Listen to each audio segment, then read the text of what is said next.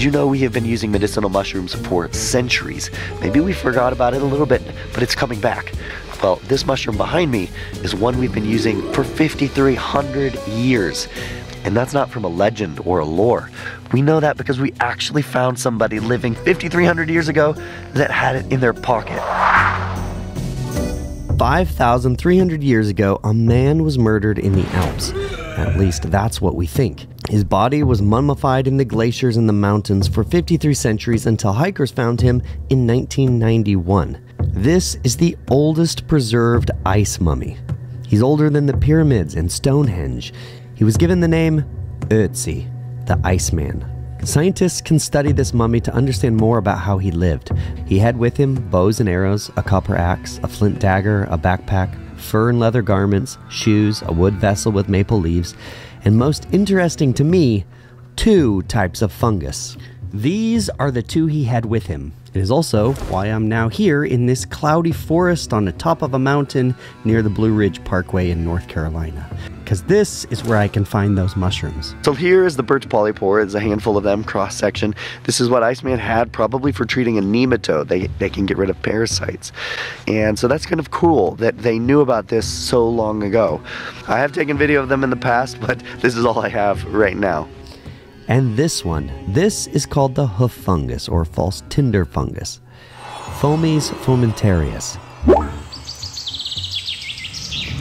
This is prime habitat, by the way, but that's in part because we're in a habitat where dead birches are falling and people leave them, and or they leave them standing up. If you're in a development and a birch dies, people chop it down, so you're not going to find the hoof fungus. And that's one of the cool things about these natural habitats. You can see they're really hard to get off. Some of them a little bit easier depending on how fragile the wood is. Are they are they on there pretty solid or, or do they pop off? Oh, very well, solid. You just broke one off. It's down there. I see it going down the hill. And once you take it off, then you're left with this. Now, just a little bit of a biology lesson. This is what's called a polypore mushroom. Underneath here is what distinguishes it as a polypore because instead of having gills, it has these little holes, little pores, and that's where the spores come out. And this is a conch fungi or a bracket fungi. So, see, it is super hard. That thing is, is not moving. And it can be really old. These things can live for decades. And that's why you have to, you know, be careful if you collect any of these things. Maybe just take a piece of it or only collect a little bit on a tree because they are a little valuable little resource and they could be over collected. What I wanted to show you though with this particular mushroom is the inside. Now all of this material here on the bottom, super hard and dense. But there is a, a small bit at the top here which is spongy. It's a little corky. This right here is the material they use to make amadou out of. Now, if you've ever seen Paul Stamets and his talks, you probably the most famous mycologist we have around today, he wears a hat. It's a really funky looking hat. It's brown. It looks like a little leather thing. That's made out of this material. But this is also the material that's used for tinder. And that is what Iceman used this fungus for. So if you light this, you can get a little bit of a smoldering mass and then you can bring it with you like Iceman probably was, to the next fire. That way you don't have to start a fire in another place. You just basically take this, blow into it with some dry material, and it should light another fire. Now, we don't yet know if Iceman also was using this for medicinal reasons. It's not commonly known as one of the big medicinal mushrooms. However, there is some evidence that people have been using it in the past for this purpose. For instance, Hippocrates cited it for its ability to staunch bleeding. In Chinese medicine, it's been used to treat throat, stomach, and uterine cancer and in Indian medicine, it was a diuretic, laxative, and a nerve steadying tonic. More recently, Chinese researchers have been studying its ability to reduce pain, act as an antimicrobial, as a treatment for diabetes, and its general ability to enhance the immune system.